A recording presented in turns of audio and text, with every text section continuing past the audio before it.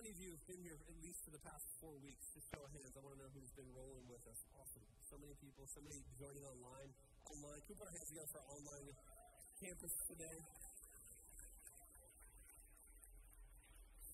Uh, we're going to transition into the second chapter of First Peter, and I told you it was coming. We are going to begin our first mini series of the series, and uh, I'm really excited about this. Uh, the first couple weeks, the first four weeks, was really just a um, was just a build up to this moment. Peter is giving a lot of introductory um, truths, and he's building some theological um, building blocks, if you will, that we need to understand. And then he's going to launch into what we're about to read today uh, in 1 Peter chapter 2, verses 1 through to 10. Um, and the, these verses that we're going to read today happen to be my most favorite verses in all of Scripture. I mean, there's some good stuff in Scripture. Come on, somebody, right? There's some great stuff in Scripture, but these these verses right here are just so thick, so strong, so so purposeful.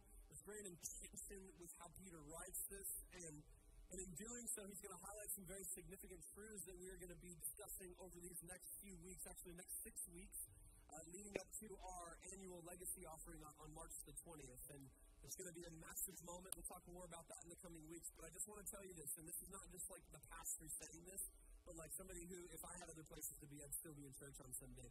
Get here every week leading up to that moment uh, next week and the week after and the week after, there's going to be some really significant moments around here. You don't, you don't want to miss anything around here. So, 1 Peter chapter 2, verse 1 says this. It says, therefore. Everybody shout, therefore? Come on, everybody shout, therefore? So, when the Bible says therefore, you must see why it's there for. Okay? It's important. A college professor told me that one time. I thought it was fun. Says therefore. In the ESV version, it says so. And it's an indication that he's going to he's going to continue with a thought that's connected to what we've been previously reading. He says, therefore, because of all of these things, therefore, because of what, what I just said to you, rid yourselves of all malice, all deceit, hypocrisy, envy, and all slander.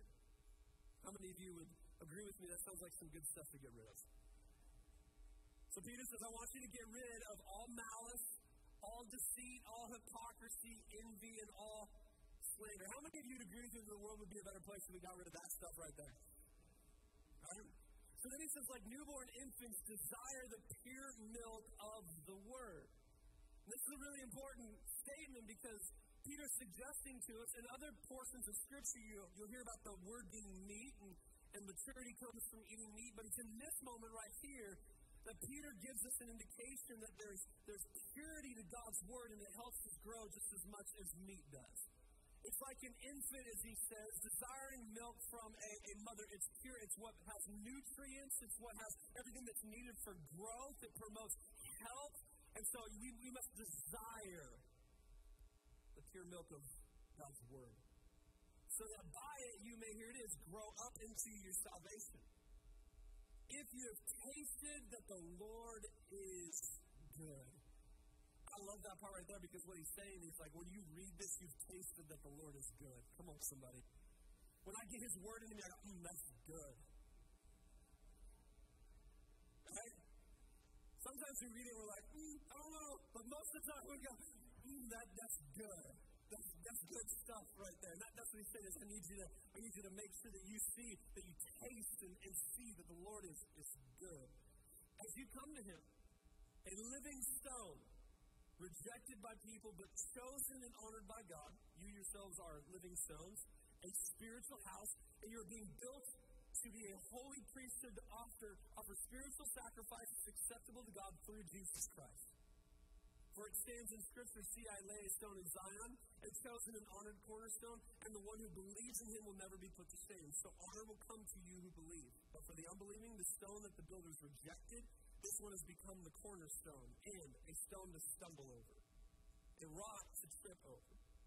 They stumble because they disobey the word. They were destined for this. But you, here it is, like this is the crescendo of these 10 verses. We're not going to get to these today, but we're going to talk about them in the coming weeks. So listen to what he said. And I can see, like, Peter, you can amped up. Like, he's pressing the pen harder. And maybe if it's me right now and I'm, like, dictating it, it would sound a lot like this. But you are a chosen race, a royal priesthood, a holy nation, a people for his possession, so that you may proclaim the praises of the one who called you out of darkness into his marvelous light. I think that's how it needs to be read. Because it's that massive, it's that good. Once you were not a people, but now you are God's people. You had not received mercy, but now you have received mercy. Today, as we continue on in our series, You Are Here, I want to begin our first mini series that we're going to be calling The House That God Built. The house that God built as we look at this beautiful gospel community known as the church. The house that He said He would build, and the gates of hell would not prevail against it. Would you just pray with me one more time this morning as we dig in? Father, we thank you for your word. We thank you that it's alive, it's active, it's powerful, it has the ability to transform us from the inside out. And so collectively, God, I ask right now that you would just speak to us. We need to hear your voice. And thank you for what it is that you're doing in this place today. And so, God, may your truth, as we apply it to our lives, set us free today. We need your word in our lives. May we desire it. May we crave it today as we build our life upon it. In Jesus' mighty name. Come on, in the church, shout it. Amen. Hey, so I um, am fascinated with architecture, fascinated with building. Um, I am not a builder. I don't build things. Is there anybody like me? Like, I, I, I break things. that's, that's more or less my jam. Uh, I'm not a builder. I, I am envious of those of you, and I know some of you in this room, uh, I'm envious of those of you who have the ability to like see things and then build it. Like you know how to put a, uh, you can put a shelf up and it actually could bear weight. I can't do that. Okay? Um, I can't do things like my, my father. This is how inept I am. My father-in-law had to come over to help me and my wife uh, put up a, a, large mirror. It was a heavy mirror in our house, but he's the go-to when it comes to things needing to be built and put together in my home. Someone said that you marry uh, the person that's a lot like your father. Uh, that's a lie. Erica didn't. Okay. I do not have the skills. I do not have that gift. That it's, it's not. You know what I'm good at building? Lincoln logs. That's. Does anybody remember a good old fashioned Lincoln log? Come on. Where, okay, just show hands because I just need to know who's in the room today. How many of you have ever heard of Lincoln logs? Okay, cool. Seriously. All right, so you're all saved. All right, fantastic.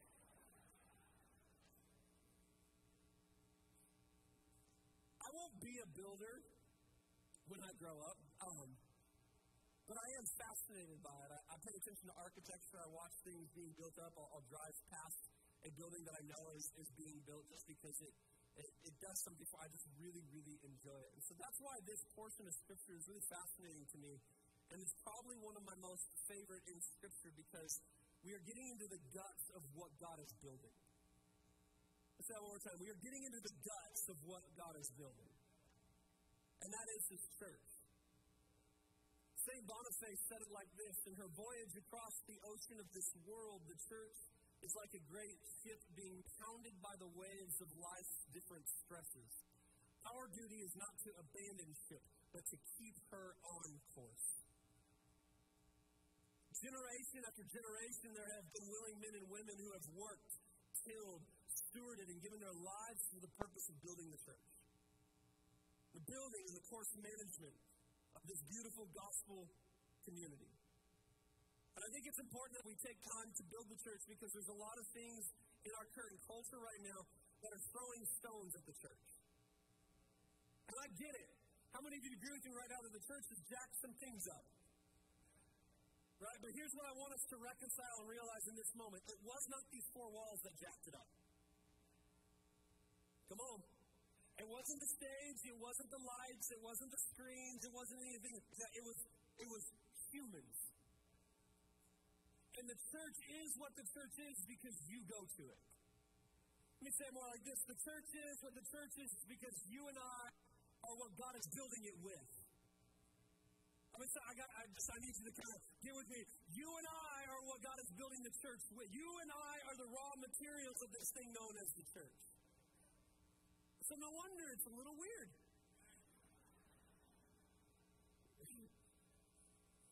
Come on, have you ever said this before? Like, like you've, or maybe not said it, but you've expected the church to be perfect? That's a really hard ask considering you and I are the materials. So next time it comes up in your head, it comes up in your heart, I wish this thing was better, just look at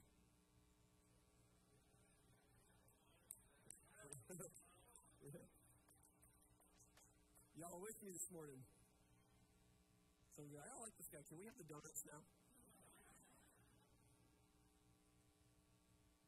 But here's the here's the, the strand that is through every generation and century since the beginning of time.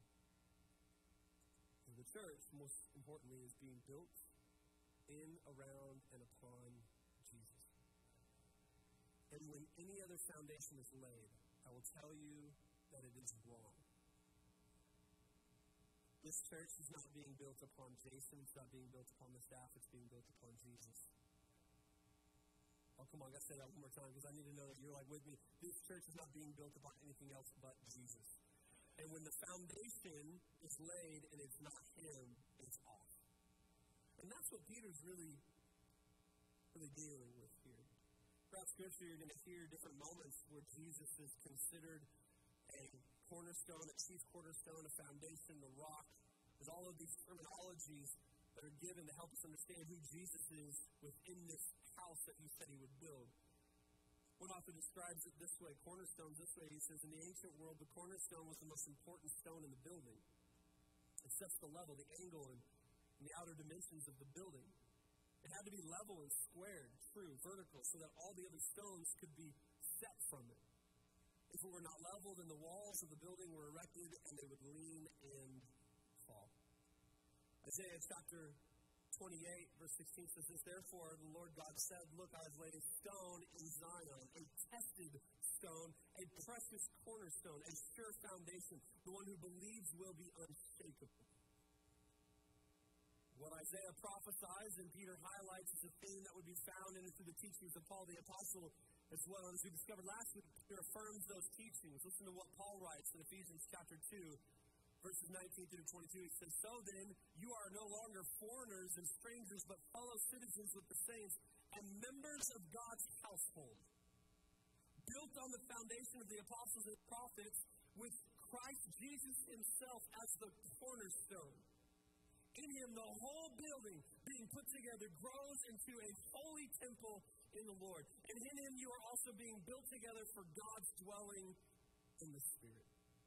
This is what Scripture is suggesting to you and I is that the church, you and me, the church, this, this living, breathing organism, this spiritual house, this gospel community, with Jesus at the center is being built into something magnificent. It was Jesus' plan A. It was the thing he said that he would build, and the gates of hell would not prevail against it. And it's messy at times, and it's weird at times, and it doesn't always look the way that we want it to at times. But I got to let you know that Jesus loves his church. You and I are a part of his church. It is the kingdom work that he is advancing, it's the kingdom work that he's doing.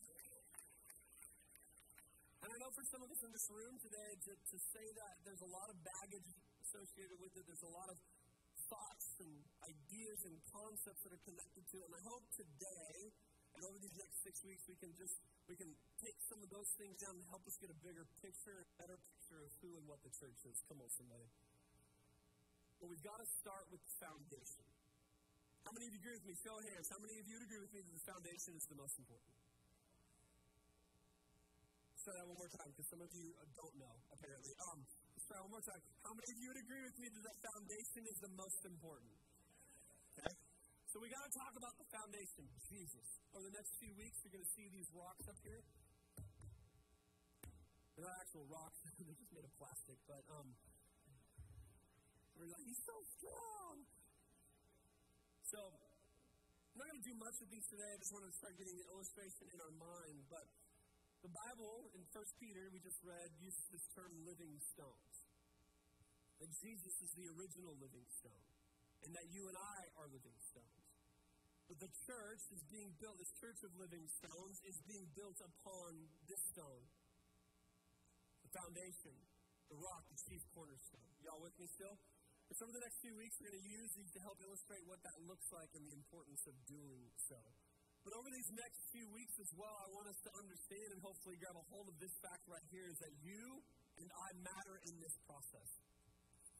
If you came in here today and you're like, man, you're questioning your worth, you're questioning your value, you're questioning who God's called you to be, I'm going to let you know right now this may be one of the most encouraging messages and mini series that you could be a part of because you play a role in this. You play a part in this. You matter more than you could ever realize. And so if you dawn these doors for the first time, walking through a little wide eyed, what's going on here? I just want you to know that you are not here on accident.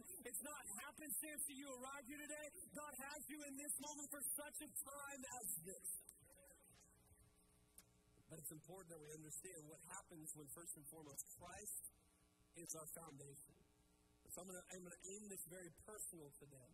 And then we'll get to the building blocks over the next couple weeks. But what I want to do today is I want to suggest something to us. If you're writing notes, I want you to write this down.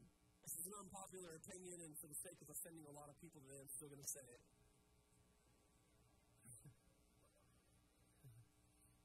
Write this down. There is a right way to build your life. I know, it's not tweetable. Not many of us want a hashtag, but there's a right way to build our life. How many of you agree with me? In the world right now, there's, there's all kinds of opinions how to build our life. Which are come, which is really coming to a place of like, well, I just, I just want to build things my way. I want, to, I want to do it my, my way. But in this series of conversations we're going to be we're going to be having over the next little while, we're going to discover that there's a right way to build our life first and foremost with Jesus as the foundation. And then it all kind of starts standing out from there.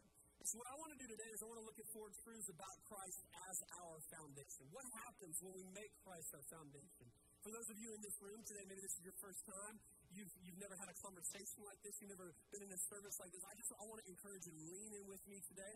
Church is a, is a uh, participation sport, okay? So the more that you shout amen, the quicker we get out to donuts. The quieter you are, the longer we stay in here, okay? So what I want to do is I want to look at four truths concerning Christ as our foundation and what happens when we make him our foundation. Here's the first one. Come on, let's number one. It's the first thing. He transforms who we are. He transforms who we are. When Christ is our foundation, he transforms who we are. Um, a word I've been hearing a lot lately in, in our culture, conversations that I'm in, different social media outlets. I'm, I'm hearing this. I'm just trying to be authentic. Come on, how many of have heard that before? Or, or we for? I'm just trying to be. I'm just trying to be authentic. We're, we're looking for authenticity, right? We want church to be authentic. We want our coffee shops to be authentic. We want our gyms to be authentic, right? It's like it's, it's authentic. That's the new vogue term right now. Authenticity. Everyone's running around trying to be authentic. True to ourselves. I just try to be true to myself. That's all. Just, just who I am. Listen to what the Bible says about who you and I are authentically. Titus 3. Y'all ready for this? For we too were once foolish, disobedient, deceived, enslaved by various passions and pleasures, living in malice and envy, hateful and detesting one another. That's what the Bible deems as our authentic self. How many of you have seen this in the world at play right now? I actually don't want to be authentic. I don't want to be authentic. Right? No one's ever said that to you before, like you're just being like a total jerk, right? And you're like, hey, I'm just I'm just being foolish and disobedient and deceived right now. I'm just being true to myself. Well, you're really hateful right now. It's who I am. It's just who I am. So I, I don't want to be. I want. I don't want to be authentic. I want to be transformed.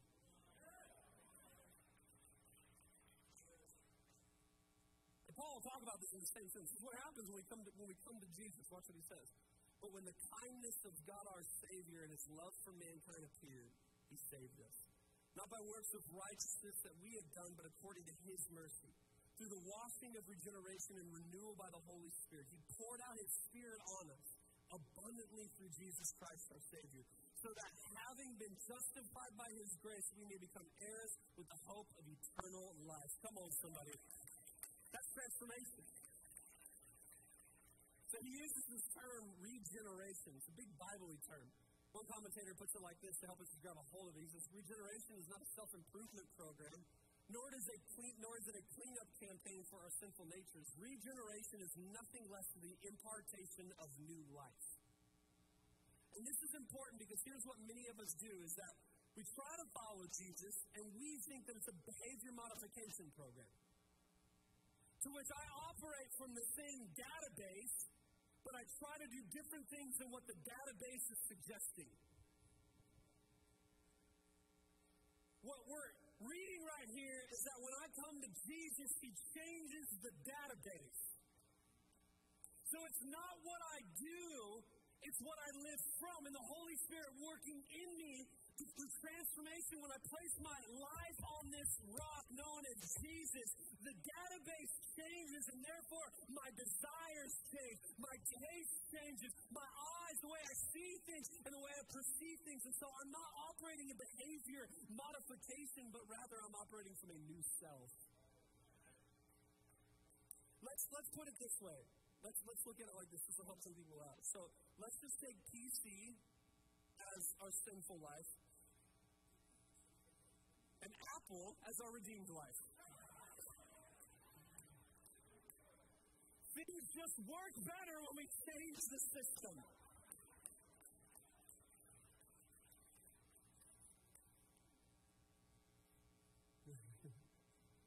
so I'm an equal opportunity offender, okay? So, in other words, regeneration is the agent of change in our lives. We find ourselves building our life upon this, this rock, it changes, it changes who we are. Y'all, y'all with me this afternoon? He changes who we are. So our lives, instead of in, in standing independent from Him, you see that? It changes. Our life is stacked upon Him. Our desires change. The things that we want changes. The ways that we see things and think through things, it, it, it changes. This would save some of our lives right now. I'm not going to try that. Somebody else can do that later.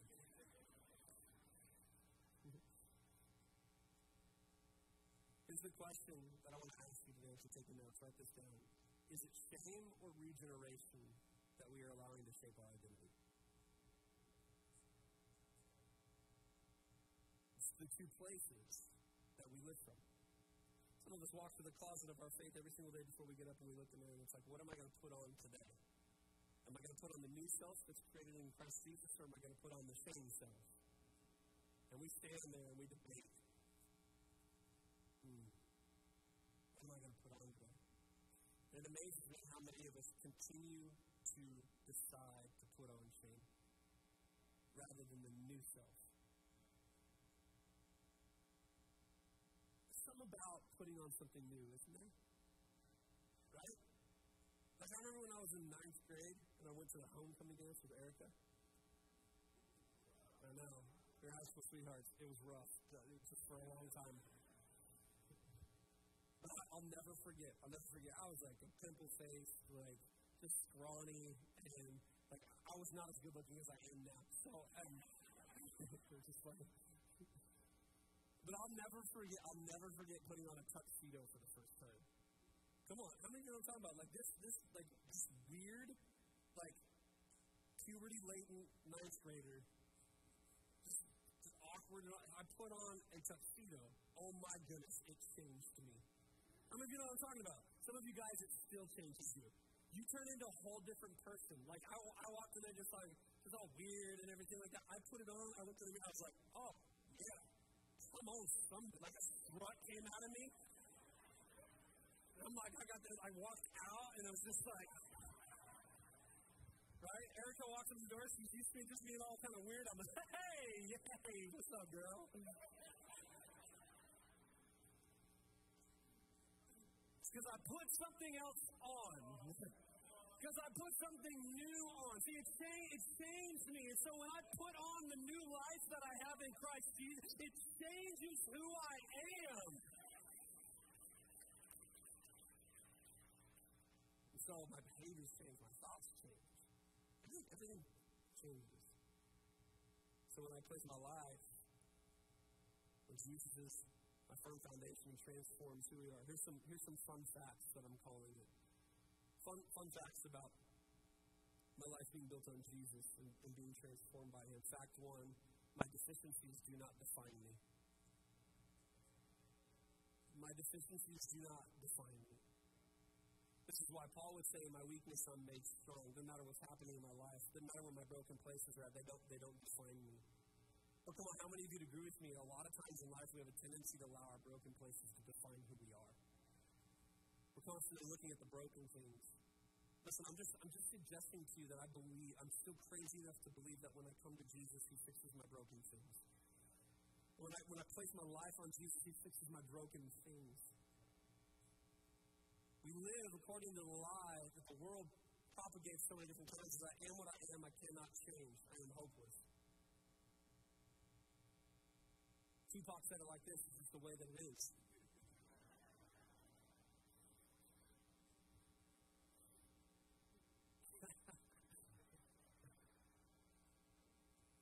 Want to suggest to you that that's not the way that it is. We can with confidence, when we come to Jesus, go, that's the way that it was. But I am now a new creation in Christ Jesus. Come on, anybody thankful for Jesus today? Here's the other, here's the other fun fact. Fun fact about placing my life on Jesus and Him transforming me is that my past is not my portion. Past is not my portion. And too often our self image and our identity rest solely on an evaluation of our past behavior, our past circumstance, our past experience, the things that have happened to me. Can I just say this to, to some of us today that need to grab a hold of this? We need to stop building our identities upon the rubble of yesterday's personal disappointments.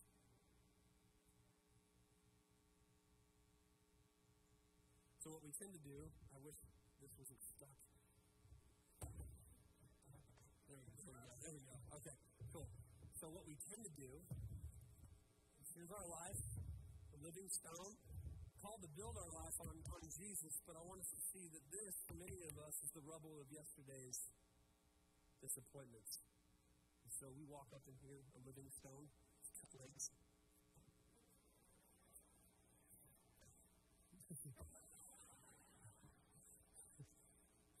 we wander up I'm being very emphatic with this illustration, but I need you to see this, and we're choosing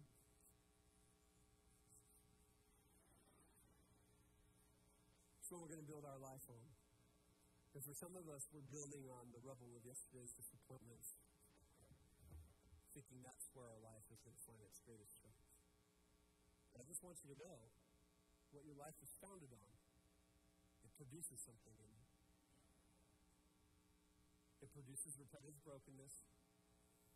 Come on, it, it repeats itself. But in Christ, our past is not our portion. In Christ, it's a new foundation. So, this is some fun facts about what it means to build my life on. He transforms us. Fun facts about transformation. Two. Come on, every shout number two.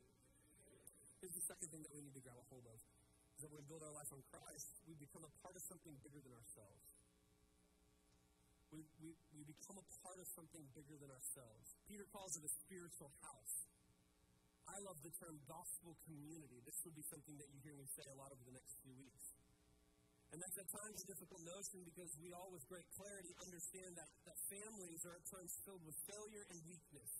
This is true of the church, but just because failure and weakness exist does not mean that we are any less a part of it and any less called to build it. I want you to hear this quoting Vaclav Benda, a survivor of Soviet communism who wrote an essay on family between in the winter of 1987 moving into 1988. Author Rod Dreher repeats this quote, I want you to hear it because I think it's a fascinating quote. He says, The family must be a real home that is a place which is livable and set apart. Sheltered from the outer world, a place which is starting, which is a starting out point for adventures and experiences with the assurance of a safe return. In other words, I want you to hear this is such beautiful language, and, and this is really the heart of the well. In other words, a haven in a heartless world. I love that quote. And while he's speaking about the natural family, I think that it's just it's true for the spiritual house that God is building. The problem is that over the years, something else has been being built. Something that's brought contempt and dysfunction to both our natural families and our spiritual houses of worship. Once again, Rod Dreher helps us with this as he writes this. Listen to this. With the advance of consumerism and individualism, we have built a societal ecosystem in which the function of the family has been reduced to producing autonomous consumers with no sense of connection or obligation to anything greater than fulfilling their own desires. And it's when this ideology finds its way into our homes and our houses of worship. It's when this ideology finds its way into our homes and our houses of worship that it all breaks down. Because we have not been called to be individualistic consumers, people running around with smartphones, yelping our families and, and Google reviewing our churches, but rather we've been called living stones in a spiritual house that God is building. We are a part of each other, we are interconnected with each other. Come on, somebody. I looked up our Google reviews the other day. Stay out of the comment section. Unbelievable. And I was fascinated as I was thinking about this. Because while there's some great Google reviews from some of you in this room, there are many other Google reviews from a consumeristic, individualistic ideology that says that we are all autonomous individuals just sitting in isolated seats. Don't you turn your neighbor right now? Turn your neighbor and say, You're a living stone. Come on. Okay. Now look at them, look at them, and say, I'm a living stone. Come on. Okay, couple more things. This is a participation service. I want you to say this to each other. We are connected. Okay, now say this. Dang it.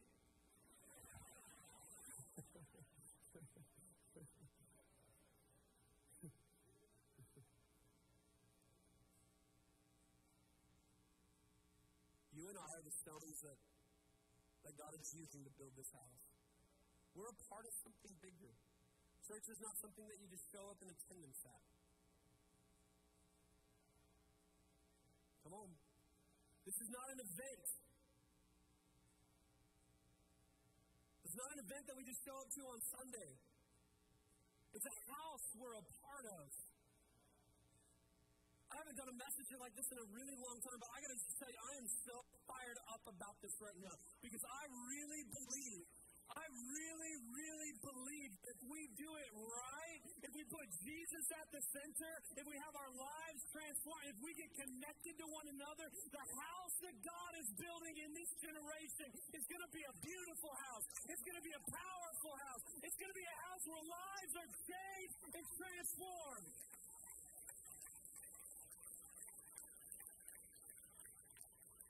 Is the house funky? Yes. You're in it. And I'm in it.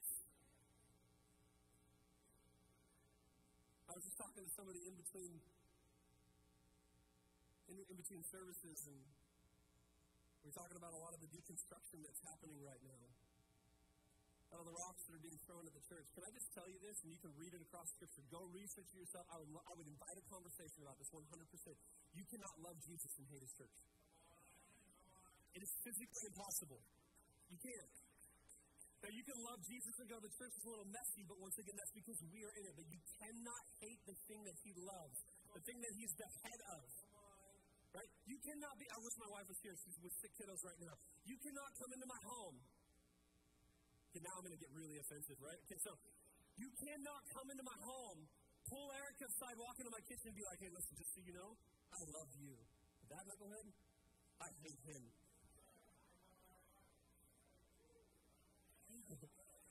It's an incongruence. It doesn't work.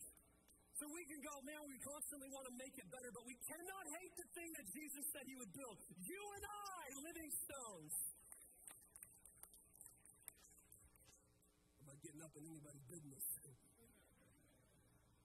Okay, so, what, so what's, the, what's the family? What's the church? The, the gospel community? What, what's it about? Another, another fun few factoids for you. Family is the antidote to isolation. This is an idea that I pressed into, into last week, and, and for the sake of time, I'm not going to dig into it like super deep. It's going to be an ongoing thread in our conversation over the next few weeks. But 1 Corinthians chapter 12, verses 12 through 26 talks about the interconnectedness, the bond of family within, within the idea of church. And that Christ is a part of that. He's the head. So it says this in verse 12 of chapter 12. It says, Just as the body is one and has many parts, and all the parts of that body, though many, are one body, so also is Christ. So we were all baptized by one Spirit into one body, whether Jews or Greeks or the slaves or free, and we were all given one Spirit to drink. He's going to go on, he's going to talk about the interconnectedness of this, but the whole point is so that you and I wouldn't live lives of isolation.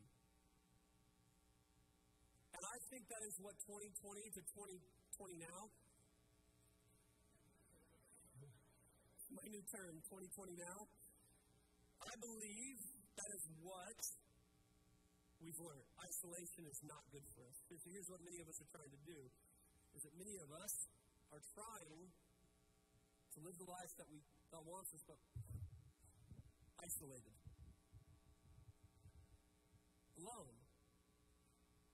I just want to say this and be very clear today.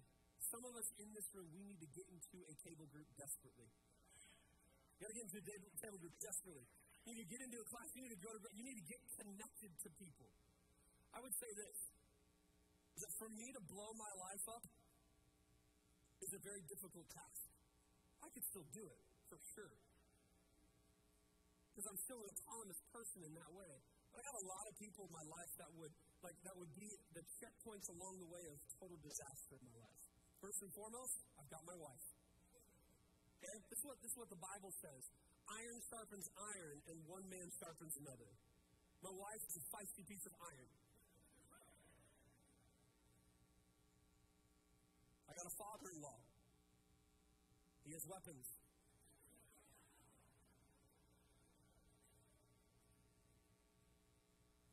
I've got a best friend who's on staff with us, do ministry and life with. Some people say it's impossible to work with your best friend. I wouldn't have it any other way. He keeps me in check. Some of us would wonder why it's so easy to go out and wreck our lives. Well, it's easy. All by yourself. I keep looking over here at Chris George, one of my favorite human beings. Yeah? So if you get Chris George in your life and say, hey man, I'll be connected with you. He'll make it a whole lot harder for you to blow up your life. Why? Because he's got people in his life that make it a whole lot harder for him. I just know that because he's a man of character and, and integrity. That's, that's the interconnectedness happens. So we're gonna we're gonna end here soon. And here's what I, here's what I'm hoping that happens over donuts and sugar. Is that you connect and that we become the church living stones connecting together. Not isolated, not, not independent. Young adults, can I just say this to you? Don't just get isolated with other young adults. Come on, you need, you need to find you need to find Kathy over here. Where's Kathy at? Kathy's right here. Come on, come on. If you, how many of you have met Kathy before? Kathy is one of my favorite human beings. Come on. Young couples, you to find a Dr. Lori over here kids with young, or uh, families with, with young children. You need to find somebody who's got their kids out of their house. You see what I'm talking about here? Like, I'm just using these gross analogies so that we can hear this is so important because what we end up doing is we, we isolate. We think we isolate in our people groups. 2020 to 2020 now has exposed some fractures within these living stones. So you got to get out of your age bracket. You got to get out of your race bracket. Got to get out of your socioeconomic bracket. Got to get out of your work bracket. Am I, ta- am I talking to anybody today? If we're going to be the church, this is what it's going to take. This is what it's about. I got to hustle. I love, I love. Proverbs 12:1, listen to this. Whoever loves discipline loves knowledge, but he who hates reproof is stupid. It'll come up on the screen right now. I'm not making it up. Is it there? Yep, right there. Look at that. It's the ESV version, I believe. Some of you like that is the scripture I've needed all day today. You just tested it. Stop. Proverbs 15, 14, the heart of him who has understanding seeks knowledge, but the mouths of fools feed on folly. Proverbs 18, 15, an intelligent heart acquires knowledge, and the ear of the wise seeks knowledge. Proverbs 19, 20, listen to advice and accept instruction, that you gain wisdom in the future. Proverbs 20, verse 18, plans are established by counsel, by wise guidance, wage war. Proverbs 15, 22, without counsel, plans fail, but with many advisors they succeed. What is this talking about? Interconnectedness, not being isolated, getting around people who have God's counsel in their heart and in their head and on their mouth. Number three, every shot number three. I'm not going to spend too much time on this one because we're going to get into this later in this little mini series. But here's the third thing that happens when we build our life on Jesus is that we are stabilized by truth. Read this a couple weeks ago, Matthew chapter 7, verses 24 through 27. Lots of scripture today, so I want you to hear I'm not, not just conjuring up my opinion, okay? This is therefore, everyone who hears these words of mine and on them will be like a wise man who built his house on the rock. I want, I want you to see right here. Who hears these words of mine and acts on them. Here's my concern for our generation right now is that we're doing a lot of hearing and a lot less action. You are stabilized by truth. Here's what I love is that I know that I can. It stabilizes me. It's there, like it's, it's a firm foundation. Some of my team's like literally losing their mind right now.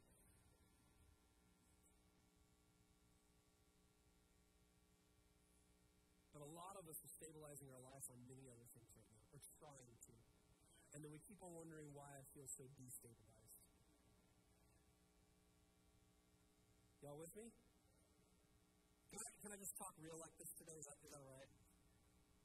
We're wondering why we're wavering and, and why, like, I, I don't understand and, and I'm not locked in and, and I feel like everything's pushing me around every single day and I'm scared and I'm fearful and I'm this and I'm that. And it's like, get yourself a rock. That's what Jesus is saying. He's saying, listen, everyone who hears these words of mine and acts on them will be like a wise man who built his house on the rock. Truth stabilizes us. That's why we live in a destabilized world right now. It's because we are burning truth down. And we've got to stop burning truth down. That doesn't mean the house is still pelted by the storm. It still has things like going up against it, but it, it stands. It's a, it's a firm foundation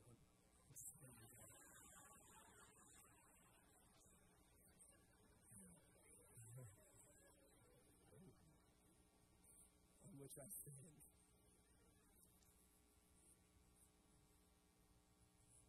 Yeah, there's an illustration in that right there. I want to ask us this question. I want us to consider this today and over this next week. What is your truth? And has it really stabilized you? Because I, I know what my truth is. And Jesus said it. He said, and the truth will set you free. That's an important thing for us to realize because I think we're in a generation right now that is desperately seeking after truth. I hope that this church and many other churches across the valley can be the lighthouse of truth that we need to be. And I'll tell you how we do it. It's not by changing our orthodoxy, it's not by changing our theology, it's not by changing our doctrine. It's His Word. It's His Word. It's the rock on which I stand. Number four, we found number four. Here's the last last point today. Is this helping anybody today? All right. Here's the last one. In Christ, remember this is all about Christ as our foundation. So over the next few weeks, we're going to see these stones some more. Let's get the hidden, let's get the isolated stone back. Like, we need you all back over here, okay? We're gonna we're gonna play around with these stones over the next few weeks and really grab a hold of this as we push this illustration a little bit further. But remember, today is we're starting out with the foundation of things. It's Jesus. It's the fourth thing, fourth truth that I want us to hear when make Christ our foundation is that in Christ, we have a greater purpose. In Christ, we have a greater purpose.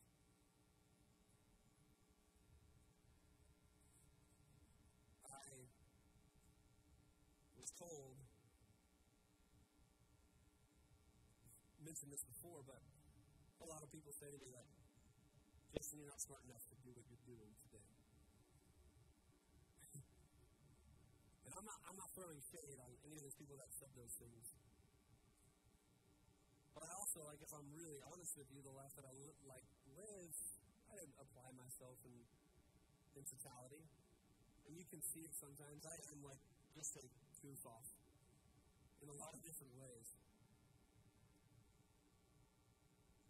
But I'll never forget it. I was at Bible college, just turning 18, they gather all the college students together and we have like this moment before college starts like this, we're all in service together and there's worship going on and the whole nine yards. And I went to Bible college to learn audio engineering. Of you didn't know that. I played the guitar, I was like Tim over there. Tim and I talk all the time because like I secretly want to play on the worship team. They told me I've, I've had to audition. I have to audition. Like, you have to audition. I'm like, Devon, you be quiet. Where's Devon? And he's like, you have to audition. I'm like, no, nah, I'm the boss. We'll just, um,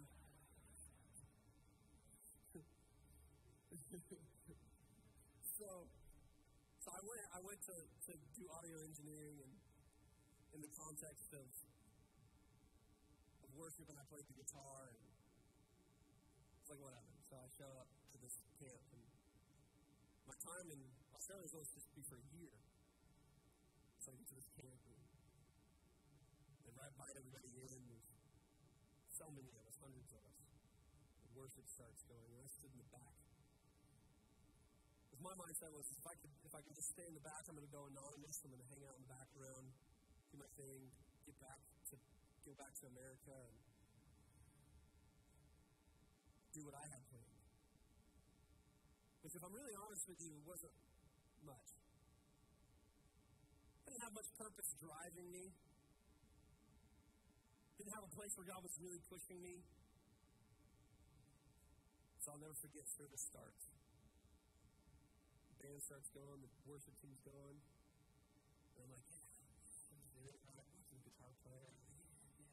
Yeah, I was like, yeah, I can do that. That's awesome. Right? Then, I, then I'm like, oh, yeah, I'm worshiping. And so I put my hands up and I'm, and I'm worshiping. I was like, this is rad. This is awesome. And the guy comes up on stage and he starts just encouraging and preaching, much like our service. Church, I cannot explain what happens next. Except I felt the weight of God's presence like I'd never felt it in one moment where I'm like, here. I kid you not, I fell on my face. And I was here. And I was weeping. Weeping. And it was in that moment that I heard God clearer than I've ever heard him before. And if you know me well enough, you know I do not say that very often. And so God whispered to me, so I got a greater purpose to help build my church. That was it. I didn't know what that meant. And like every good Western American kid, I was like, what am I going to do? Because we all think it's a function thing, right? I've never answered that. But all kinds of things youth ministry and adult ministry, clean toilets, play on the worship team, played on no teams, sat in the seats. I've been a chess piece on a kingdom board.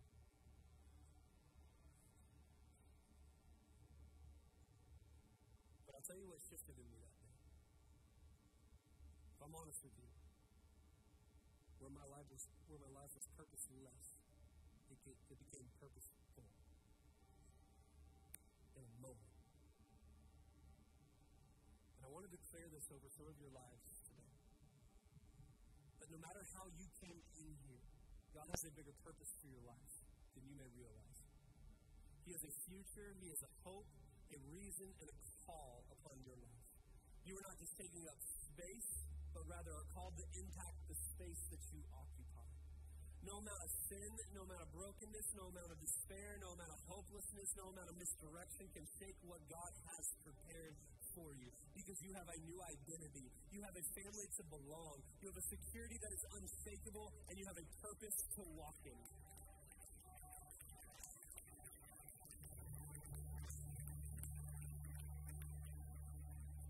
So let me read verse 40 one more time as you come to him. Jesus, a living stone rejected by men, but in the sight of God chosen and precious. You yourselves, like living stones, are being built up as a spiritual house to be a holy priesthood, to offer spiritual sacrifices acceptable to God through Jesus Christ. Church, I want to welcome you to the house that God is building you. I want to welcome you to being a living stone. I want to welcome you to a purposeful identity. I want to welcome you to a place and a space that God says, no matter what has been, I've still got something for you. I want to welcome you to new life. I want to welcome you to a greater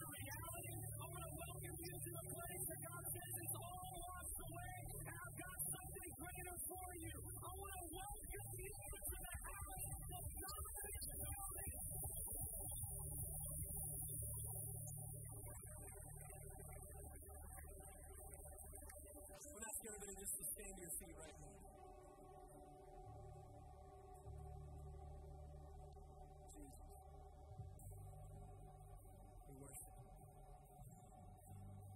We ask everybody just to bow your head and close your eyes. And some of in this room just need to start praying. There's many of us in this room today who have said yes to Jesus.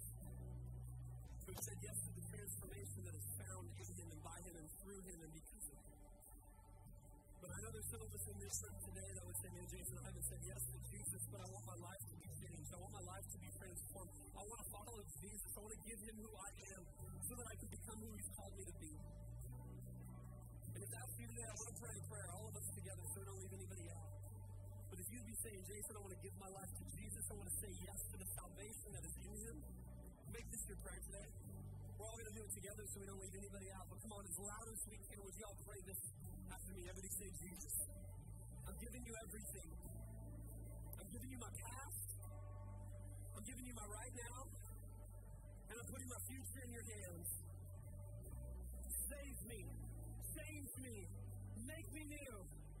And I declare in this moment that I'm going to follow you all the days of my life. I'm sorry for doing it my way. And today, I am turning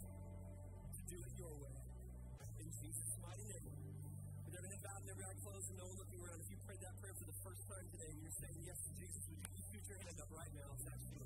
Right here, right here, right here, right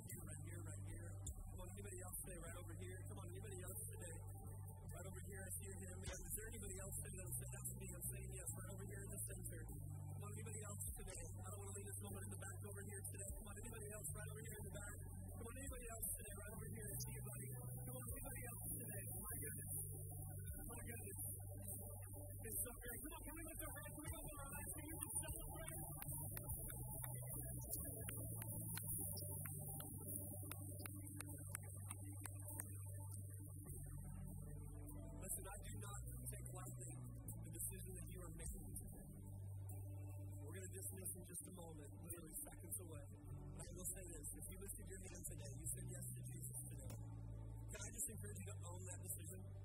And one of the first ways that you can do it is walk out of these doors, walk to the center of the lobby, and grab a person that's sitting underneath that sign. So I said yes to Jesus today. Can I get my Bible, please? That's all we have for you. We don't want anything from you, we just want everything for you. We want to make sure that you get this in your hand because is the roadmap for all things faith. This tells us what God is building and ultimately where He's leading us I pray that you would do that today as we dismiss in just a second. So for those of you lifting your hands, you have two pieces to grab.